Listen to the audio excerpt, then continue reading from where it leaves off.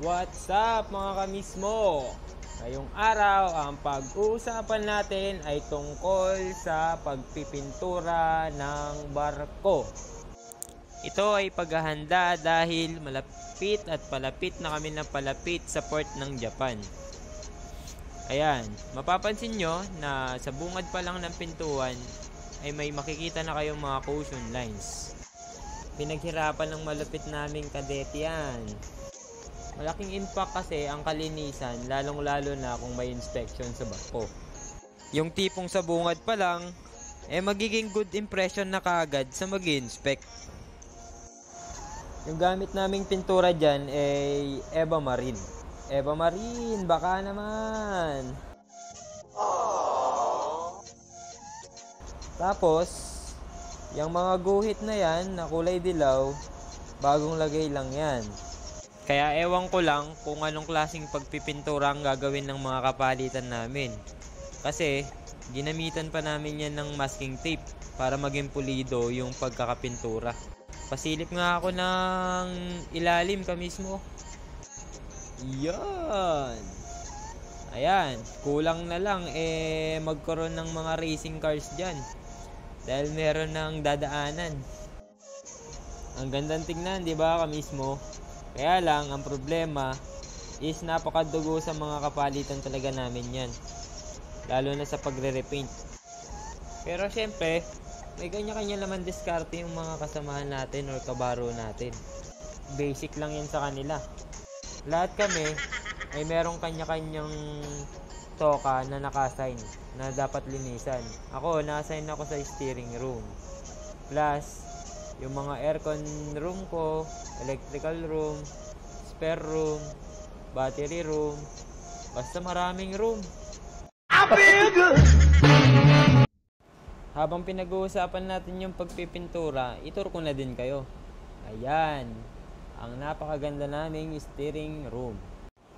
At sa may likod naman, dyan namin nilalagay ang aming mga oil. Oil ng aming mga makina. Nakasecure yan palagi dahil iniiwasan namin gumulong lalo na pagka maalon.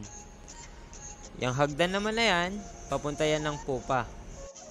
O kaya ay likuran ng barko. At lahat ng electrical panel board nilagyan ko ng electrical caution para sa awareness ng mga nakararaan. Malaking tulong yung mga symbols na yan upang maiwasan or hindi basta-basta galawin ng mga kabaro natin yung mga electrical panel. Luminous naman yung gamit kong pintura dyan. Labas muna tayo. Punta naman tayo ng boiler. Yan. Ayan ang boiler namin. Yung malaking nasa left side ko. Yan naman ang aming incinerator. Diyan kami nagsusunog ng mga basura, waste oil, mga papel, yun, basta approved. Dahil meron tayong electrical caution, sinama ko na din yung mga symbol ng ating mga fire alarm system. Yan ay ang aming flame detector. Nag-base ako sa fire control plan.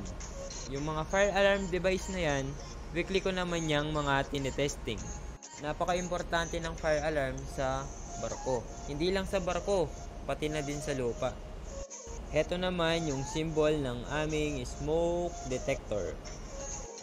Lahat ng fire alarm device na yan ay merong appropriate testing device or testing kit na ginagamit. Siyempre, kailangan yung mga approved testing kit lang yung mga ginagamit natin pang test. Yung type ng aming FDAS sa barko ay addressable. Meaning, lahat ng alarma sa control panel ay may naka-specific or indicate address. Kaya madali itong i-trace. Di tulad ng conventional type. Yung conventional type kasi ay zoning. Nakadepende naman yun sa system o sa panel kung ilan yung devices na ilalagay per loop. May mga 5 zones, 10 zones, basta iba-iba. Tsaka ako na-elaborate yun sa ibang vlog ko na lang. Kanina ay nasa third deck tayo. Ngayon, punta naman tayo ngayon sa second deck ng barko. Sa engine room second deck namin, ay karamihan ay nandyan ang aming mga machineries. katulad ng main engine, freshwater generator, purifier, lube oil, service tank, settling tank, nandyan din yung aming supply pump, compressor, air reservoir, yung aming auxiliary generator, at yung aming cascade tank, ano pa ba? Cooling system, at madami pang iba. At lahat ng painting works na yan ay pinagtulong-tulungan namin.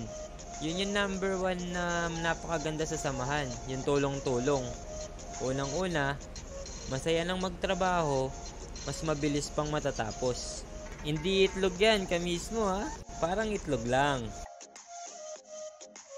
Nasamahan pa ng ketchup sa taas. Tapos, ito naman yung aming heat detector. Yan yung nag-iisa sa aming workshop. Tadaan! Kuya Nicolas, pinagtatawanan mo ako ha. At eto naman ang aming main engine. Kapit lang ka mismo at dadalhin ko naman kayo sa area ko, sa aircon room. Dito sa aming aircon room, dito mo naman makikita ang iba't ibang machinery. Ang nasa right side ko, yan ay control panel ng mga exhaust blower. Yung nasa left side ko naman, yan ang galley aircon. Yan naman ang aming air conditioning para sa accommodation. Then, sa left, sa right side ko, yan naman yung drinking water pump. Yan naman yung mga reaper compressor. Yung compressor na yan, yan yung nagpapalamig sa vegetable room, meat room, tsaka sa fish room. Yung design temperature ng meat tsaka ng fish is negative 18. Yung sa vegetable naman is 4 to 5 degrees Celsius. Teleport ulit tayo ka mismo. Punta naman tayo sa bilge tank. Grabe yung init dyan. Kasi nasa tank tank na kami dyan. Nasa pinakailalim ng barko. Meaning, nasa ilalim na kami ng dagat. Pero dahil tabi ng machineries or nasa tabi ng main engine, mainit pa din. Habang buhay, ako sa'yo'y maghihintay. Umaraw man o umulan, di sasablay. Pintado sa aking puso, pag-ibig na tunay. Ano, ano, ano? Ano ang senyo? Natamimi kayo. Pa-experience ko sa inyo mga kamismo kung gaano kaingay sa tank top.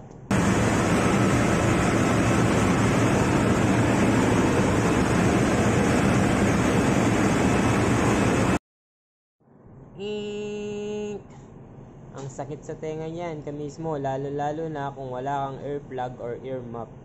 Kaya napakahalaga nun dahil in the long run, pagka wala kang suot na ganun, maaari kang mabingi may umextra pang crab. Nanggaling yan sa cooling system namin nung naglinis kami ng strainer ng cooling system. Dahil sa may butas na siguro yung strainer, nakakapasok or nasisip-sip ng suction pump yung mga dumi or yung mga basura sa dagat. Pati na din yung mga lamang dagat. Tulad nun, si Mr. Crab.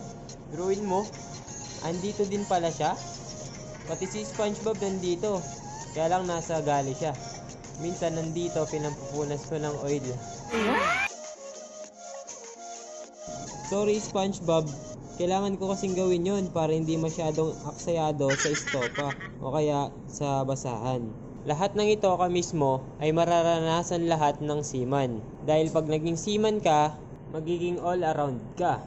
Multitasking, dahil kayo-kayo lang din naman ang magtutulungan sa barko. Magiging janitor ka, pintor, taga-reading, tubero, operator, welder, fabricator, escalator, elevator, evaporator. Oops! Sumobra na. Di na kasama yon pero marami pang iba. Lahat ng yon mga kamismo ay wala akong pinagsisisihan. Dahil bukod sa masaya ako sa ginagawa ko, lahat ng ito kinakaya ko dahil para sa pamilya ko. At syempre, kailangan mo ring mahalin talaga ang trabaho mo. Dahil pag mahal mo ang trabaho mo, lahat ng kilos mo ay magaan, maluwag, at napakasarap sa pakiramdam. Pero syempre, kailangan balance pa rin. Hindi yung laging retain. Kasi mahirap naman yung palagi kang retain. Dahil may hangganan din naman ng tao, napapagod din naman lahat tayo. Teka ka mismo, hugot ba yan? Mukhang may pinagdadaanan ka. Ha? Wala. Nasabi ko lang, para aware yung mga iba. So, paano ba yan mga kamismo? Pangalawang vlog ko na to. Kung di ka pa nakasubscribe sa akin channel, mag-subscribe ka na para updated ka palagi sa mga i-upload ko na videos. Pa-like and comment na lang din ka mismo kung meron kayong mga suggestion o gustong malaman sa pagbabarko para magawan ko ng content. Search nyo lang ka mismo ang L mismo. Yan ang aking YouTube channel para makita nyo yung aking mga bagong i-upload na mga videos. Ito nga pala si ka mismo na nagsasabing walang imposible sa taong porsigido. Mga kamismo, hanggang dito na lang. Hanggang sa muli. Bye-bye!